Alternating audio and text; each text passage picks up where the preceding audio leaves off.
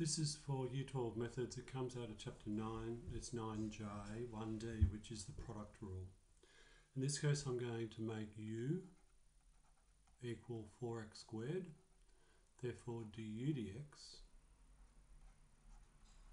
is going to be 8x. v is equal to 2x squared plus 1 squared. So dv dx will equal, the 2 will come down the front, 2 times 2x squared plus 1 to the power of 1 times 4x, which is the derivative of the inside.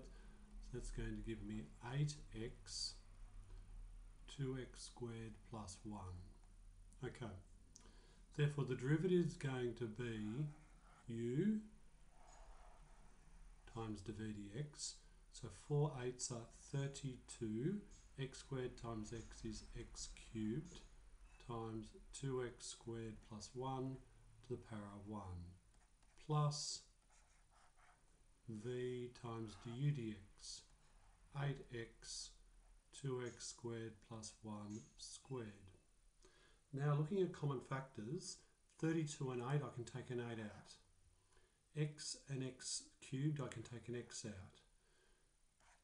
2x squared plus 1 to the power of 1, 2x squared plus 1 to the power of 2, I can take 1 out. I've got a 4, x squared, and that's gone, plus the 8x is gone, so this to the power of 1, 2x squared plus 1, which gives me 8x, 2x squared plus 1, 6x squared plus 1 and that's the answer.